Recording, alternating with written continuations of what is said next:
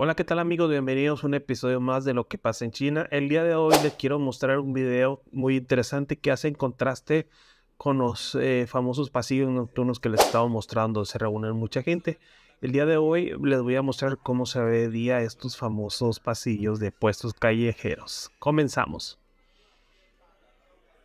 Nos encontramos en este famoso distrito donde se encuentran la mayoría de muchos puestos callejeros que se ponen la noche. Aquí vemos estas personas también están grabando y vamos recorriendo estos pasillos donde en las noches eh, se reúnen jóvenes este, y todas personas.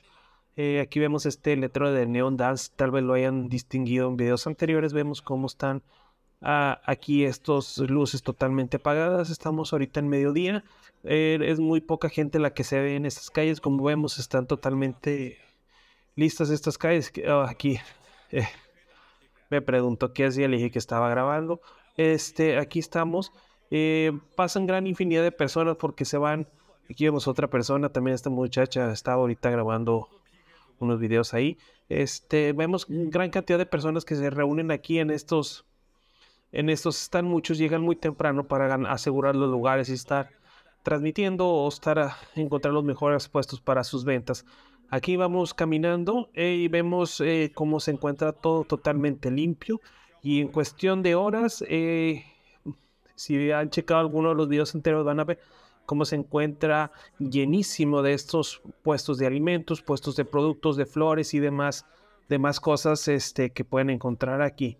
Además, mucho de estos es, aquí se encuentran también una infinidad de estos famosos KTVs eh, que se encuentran aquí en, el, en, China, que es muy común tener estos famosos KTVs, que son como antros donde tú puedes ir y solicitar un cuarto y para amigos y ellos te van llevando todas las bebidas, este, alimentos y toda la música. De hecho, hasta puedes cantar en estos. Te los puedes rentar por horas y la verdad es un punto de reunión muy padre con todos los amigos. Aquí vemos cómo estas personas ya llegaron este, y empiezan a caminar. Muchos de estas personas en, trabajan en los KTVs y, y, empiezan a iniciar operaciones. Hay algunos KTVs aquí en China que trabajan las 24 horas debido... ¿Por qué sucede esto? Porque hay muchísima gente y realmente muchos salen de trabajar a mediodía o salen a trabajar en la mañana y no les interesa irse a dormir. Simplemente se quieren ir a divertir con sus amigos del turno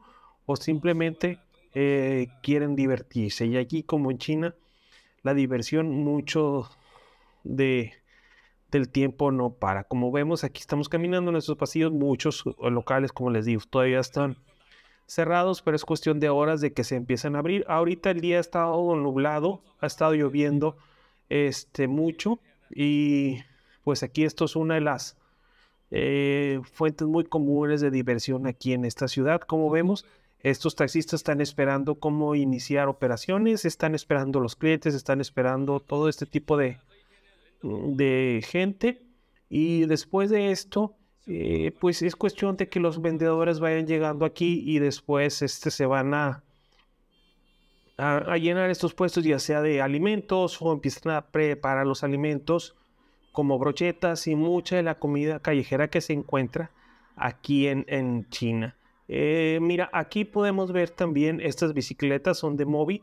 Estas bicicletas tú las puedes rentar como por 10, eh, como 10 centavos de dólar por el día y la puedes usar todo lo que quieras, no hay ningún límite.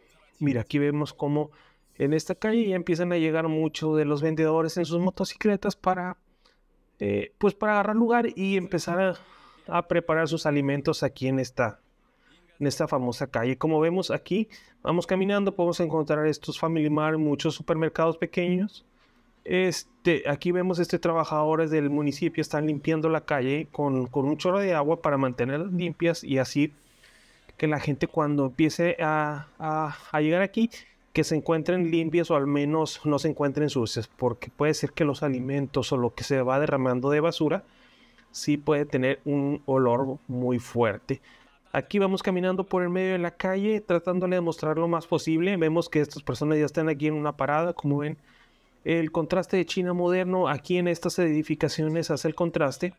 Eh, en estos antiguos edificios, o, muchos edificios ya tienen su tiempo y vemos como eh, la infraestructura que tiene pues es muy, muy diferente a la que muchos de los videos de China les hacen demostrar. Aquí estas eh, son edificios eh, de departamentos de, personas, muchas veces son mini bodeguitas.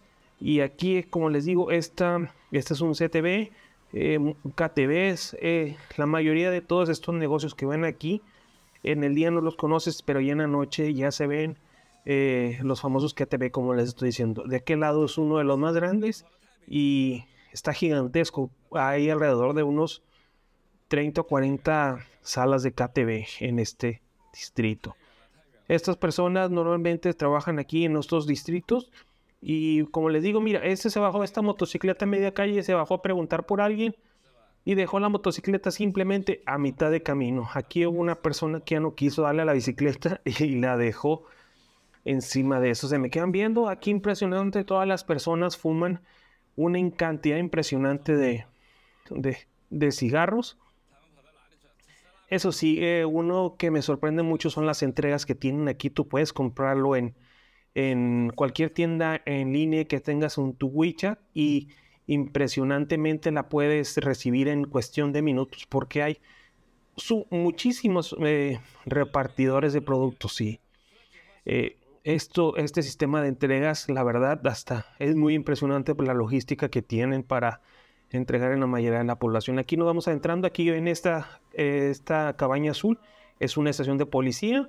Aquí seguimos caminando aquí por estos este, eh, mercados. Estos son pequeños supermercados regionales. Aquí las botellas en botellas las ven ahí en afuera.